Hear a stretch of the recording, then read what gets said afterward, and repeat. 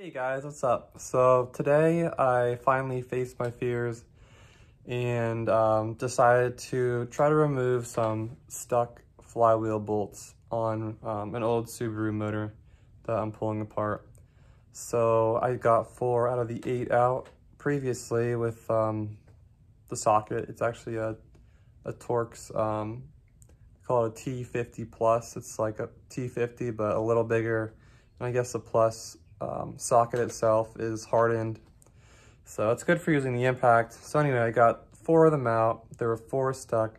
I stripped like two or three of the, um, the splines for the Torx head out of the bolts for the other, um, the other ones that were stuck. So there's a few ways you can try to remove bolts like this.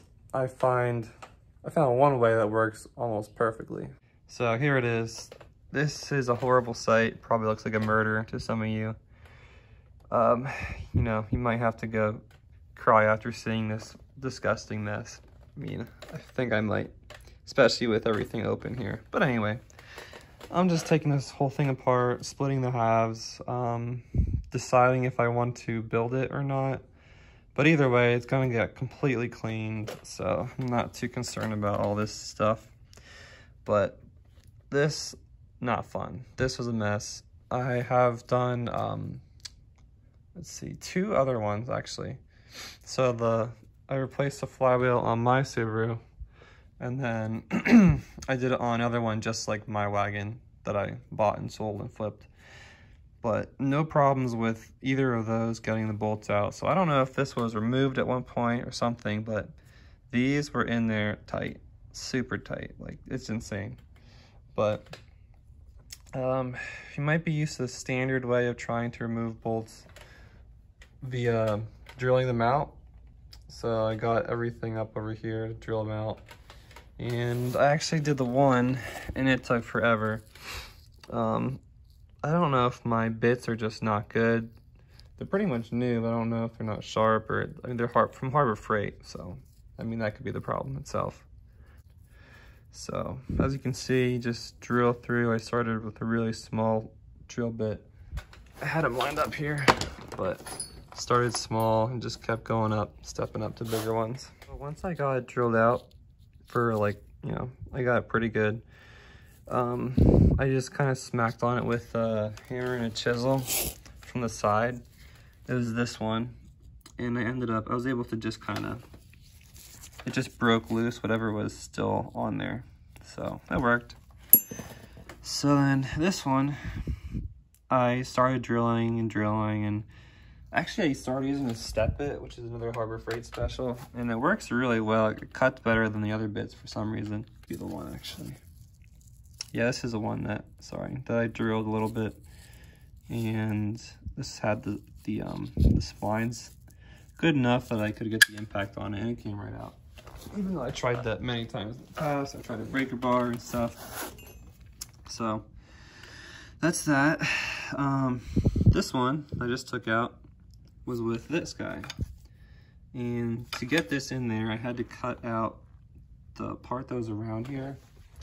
It's right here. It's right here. So this guy was in here.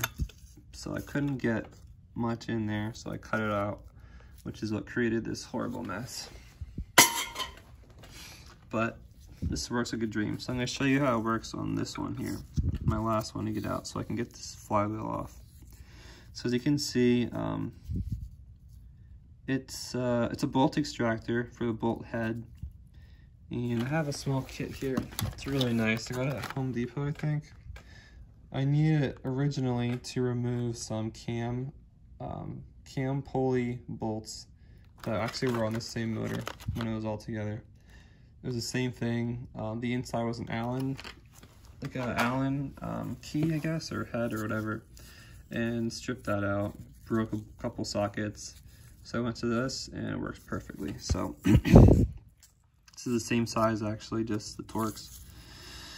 So it's it works by tap it on here with a hammer and then these flutes, I guess you call them, are reversed. So it's like reverse thread almost. So when you go backwards with it to try to back it out. So it's kind of like cone shaped almost. It's angled so that when you um, get a bolt on here, um, the more you torque it, the more the teeth want to dig in, which actually brings it, um, it brings this closer and just tightens. I don't know how to explain it, but it's amazing. So I'll show you how it works. So I tap it on a little bit. Try to keep it as straight as you can.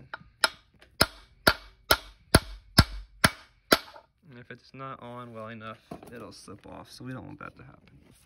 So it's on there pretty tight. Now I'm gonna set you up so you can watch the rest. All right.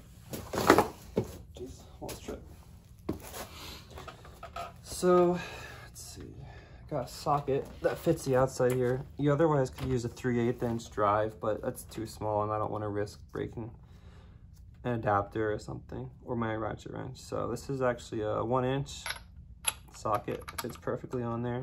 It was a 12 point, so the 6 point would be more ideal, but I don't have any offhand. Um, so now I use my breaker bar and I have the flywheel um, like pinned up here so that I can't turn. This would probably be easier if I had the whole engine flopped over so I'd be working with gravity, but it's not how I'm doing it. So.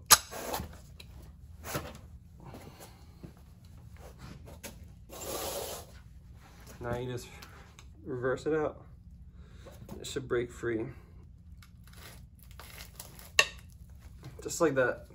Perfect. You can get your impact on there and get it out a little quicker, but that's all it took. It's amazing. So here it is. You can see how it's um it's almost flush with the socket thing, but worked perfectly.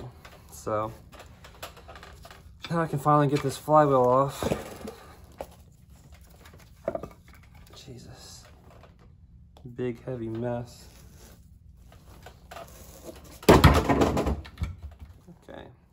Don't kill yourself with that. Like I almost did. So let me bring you around here. Here's the aftermath, so um, don't know what that is, but this is the one that I was drilling into and stuff. Oh, look at that. Amazing. I'm getting rid of this crank too, so I wasn't concerned about about damaging that. so yeah, I mean, that's all it is. And you can stick this in the vise and get it out. Um, I got it off finally, but here she is. The socket itself really doesn't get damaged too much. I mean, this is the fourth or fifth time I'm using it. So it's pretty impressive really good tool. Definitely a must-have from Irwin. Um, actually, I think I got it at Advance Auto or something. But anyway, you can probably get a whole kit, but this has the most common sizes needed. And so far, this is the only one I've needed, so it's pretty sweet. So guys, if you ever have a problem with a bolt that, I mean, probably typically going to be an Allen or a Torx that you can't get something else on the outside. Um, I mean, I guess you could strip off um, a normal bolt head, but uh, you shouldn't do that if you're using a six point socket. So anyway, this is an excellent tool if you need to remove some bolts like this, specifically if you're working on a Subaru and you can't get the cam bolts out for the cam pulleys. Um, this is the way to go. I mean, I even, if I ever do it again, I'm gonna use this right away. I'm not even gonna try to use the, um, the Allen key because it's just it's a waste of time. They're on there so tight that, um, and this breaks it loose right away. So, I mean, the good thing is if you use this, so you break it loose with this and you can reuse the bolt then. Um, but if you would strip it out on the inside, you can't reuse the bolt, um, you know, when you go back to put it, put it back together. So you can tighten it down with the Allen key because it actually doesn't get torqued down too hard, but just the way that it's designed, it's super tight to get off. So this is the way to go. Um, if you have any questions, suggestions, let me know. You can reach out to me on Instagram, Facebook. Um, you can comment here. Subscribe if you want to learn some more or if you just want to see some cool stuff. I'm uh, definitely going to be making more videos soon and doing some more fun things finally, so it's pretty exciting. Um, so yeah, thanks everyone for watching. I appreciate it. And like I said, reach out if you have anything. Thank you.